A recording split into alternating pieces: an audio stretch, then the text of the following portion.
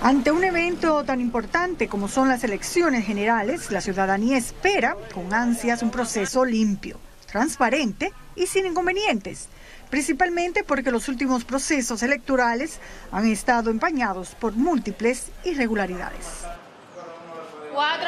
En esta próxima ocasión se agrega un nuevo factor al torneo electoral con el voto automatizado, ya que será la primera vez que en el país se implemente esta modalidad todos los actores de la sociedad dominicana están prestando mucha atención a todos los pasos que debe dar la Junta Central Electoral para la implementación del voto automatizado en la República Dominicana, porque es un evento trascendente, un evento que debe salir fortalecida la democracia.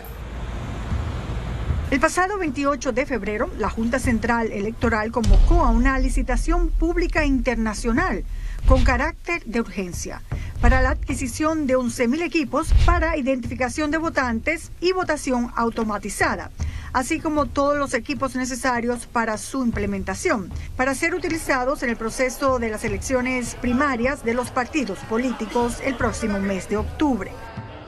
Que más ha llamado la atención es el hecho de que la empresa favorecida con la adjudicación DigiWorld en el año 2012 le fue suspendido el registro de proveedores del Estado por un periodo de un año debido a un incumplimiento de contrato, a solicitud de la Oficina Presidencial de Tecnología de la Información y Comunicación OPTIC.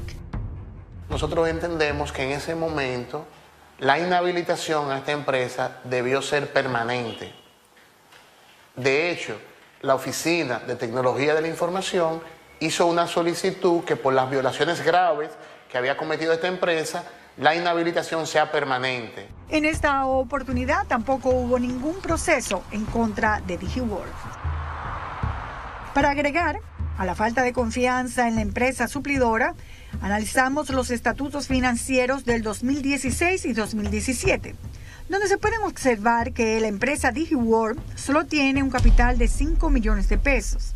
En el año 2017 obtuvo beneficios por 1.106.000 pesos y su patrimonio total asciende a 34 millones de pesos entre pasivos y activos.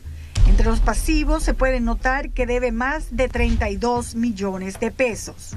Tiene en efectivo en caja solo 230 mil pesos.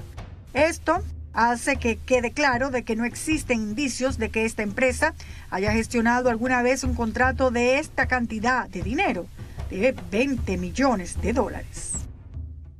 Seguimos hurgando entre los documentos de la licitación y nos llama mucho la atención que la comunicación que se le envía a las empresas que presentaron propuestas, que fueron Miss Corp, Prodacon, DigiWorld, Omega Tech, Multicómputos y IQ Tech Solutions. Cuando se les notifica la adjudicación, expresa claramente que a solicitud de la empresa a la que se le otorgó el contrato, o sea, DigiWorld, se establece una especie de compromiso con la Junta Central Electoral y esta empresa para una contratación futura para la compra de los equipos restantes para las elecciones de febrero y mayo del 2020. Llama más la atención que esto quede precisamente plasmado en la propia acta de adjudicación. En esta crónica de una licitación adjudicada futurista se puede leer algo muy gracioso. Ellos establecen de que Diginor le dará los mismos precios, pero punto y seguido hay otro párrafo donde se puede leer. La condicionante consiste en que los precios a intervenir serían productos de una discusión o acuerdo entre las partes. Entonces, no entendemos. Si ofrece DigiWorld el mismo precio, ¿por qué agregar que los precios a intervenir serían productos de una discusión? Una discusión que solo le conviene a DigiWorld cuando aumente los precios. Pero mientras tanto ya tiene adjudicado un contrato para las elecciones del 2020. Nunca antes visto.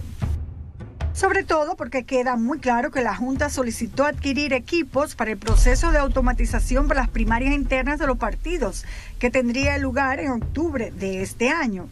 Pero ya en esto hablamos de las elecciones que están por venir. Aunque en otras ocasiones la Junta Central ha adjudicado la compra de equipos por rubros o renglones entre diferentes empresas ofertantes, en esta oportunidad llama la atención, y lo vemos en el acta de adjudicación, que la empresa a la cual se le adjudica el contrato establece que si le compran todos los renglones a ellos, incluirían una especie de maletín para el traslado de los equipos que era parte de los requisitos para la compra y que estaban cotizados en los precios de los demás oferentes.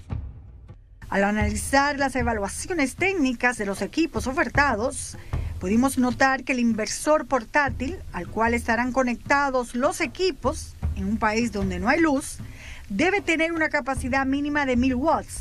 Sin embargo, la única empresa que presentó una propuesta con un equipo de menos capacidad, en este caso 500 watts, fue la empresa seleccionada como la idónea para suplir los equipos.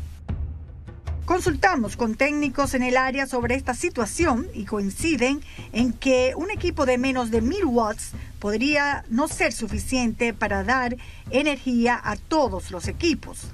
Según los expertos, el consumo de estos equipos podría ser de 750 watts. Solo 500 pondrían en peligro el proceso. Y vemos cómo recibió la misma puntuación que recibieron todas las empresas que cotizaron 1000 watts. ¿Quién explica esto?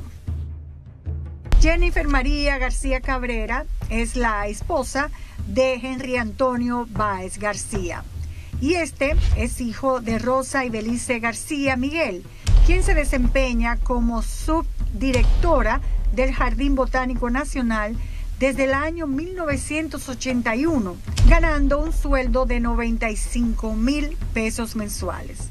Según su declaración jurada de bienes, estuvo casada con Leonte Rivera Sánchez, uno de los socios fundadores de la empresa de Vallas Colorín, quien posteriormente vendió una gran parte de sus acciones a Carlos Osoria, que todos saben que es socio de Félix Bautista.